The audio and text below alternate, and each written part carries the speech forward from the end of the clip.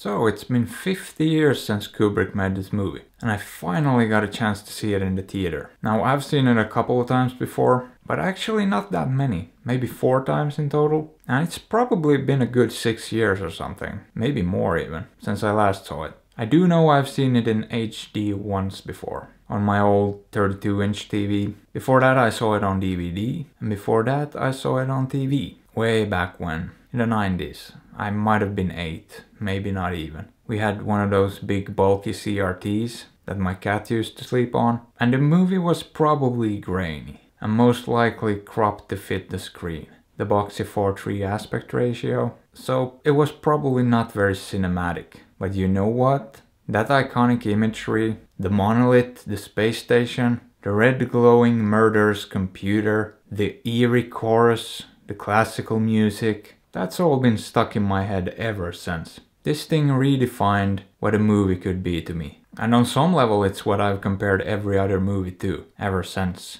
And so far, in my 30 years on the planet, I haven't seen anything like it. It might be the most ambitious movie ever made. And I don't see it getting surpassed in that regard anytime soon. Now that being said, I don't claim to understand it, but I do think I get the gist of it. But I've also never been one to really analyze movies. It just feels sort of pointless. Either you get something out of a movie or you don't. It's a very subjective and personal experience. So why try to project some sort of objective truth or meaning onto it? It's a little bit silly. Now you can analyze this movie to death, and people have. But at the end of the day, I don't really know what I'd get out of that. To me, it's just a deeply profound movie, for reasons I can't really explain. And it's a technical marvel, for reasons that are much more accessible. I mean, some of the techniques they developed for this movie are still being used today, and some of the shots are just mind-boggling. Now a few of them I immediately knew how they did, but they're still perfectly executed, with some clever cuts and editing. But there's at least a few scenes I'm not really sure how they did.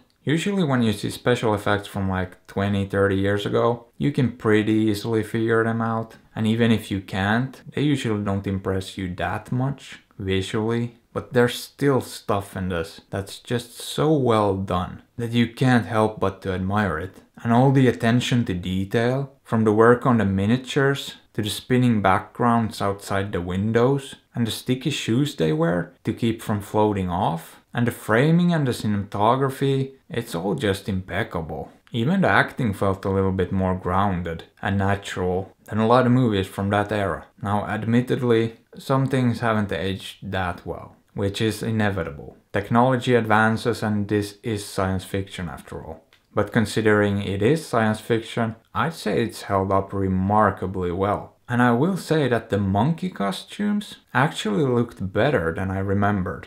To put it into perspective, Planet of the Apes came out the same year. Now compare the two costumes, and there's no question which one has aged better. Kubrick even had articulated lips on his, and more detail on the faces themselves. But then we do have things like the Stargate sequence, and some of that looks great still. But some of it is just random shots of deserts and oceans, with the saturation cranked up to a million. That's not that impressive these days. Now, I don't know how that was done back in the day, or if it even was impressive to the audience, but that's easily my least favorite part of the movie, and the part that hasn't aged well at all. And then we have things like the images of Earth that are obviously matte paintings, and that's not really that impressive these days. But you also have to keep in mind that this was the late 60s. CGI wasn't an option, and there were no high quality color images of Earth available. And we have things like the picture phone, which as an idea was pretty cool, but the camera and screen technology just weren't there. They're both big and bulky, simple limitations of the era. But then on the actual spaceship itself, they have something like tablet computers on the table. Now we never see them actually move because there's obviously big screens embedded into the actual table, but they're made to look all thin and sleek. And it's details like that that just makes this movie so great, decades later. But what surprised me the most was probably all the silence. And there's a lot of it. And not just a lack of score with some ambient sounds. I mean complete silence. And after seeing this in the theater, I get why very few movies do that these days. Because it's actually pretty uncomfortable, almost suffocating. You don't want to make the slightest noise, because the whole theater will hear it. But it was an interesting experience. What I also realized for the first time though was that in the middle of this grand, epic, ambitious movie, there is this quaint little sci fi story that could have been its own movie. And in the hands of another filmmaker, it probably would have been the whole movie. I'm of course talking about the whole trip to Jupiter with Hal.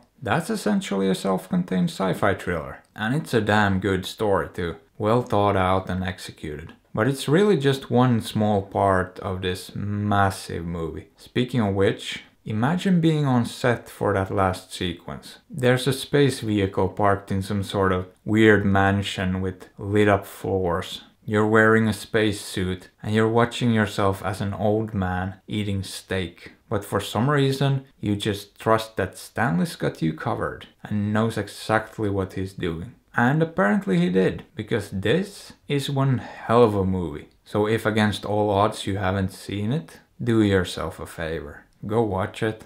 I know it's long and slow and artsy and kinda pretentious, but just do it. Or don't. You don't have to. And I'm not your dad.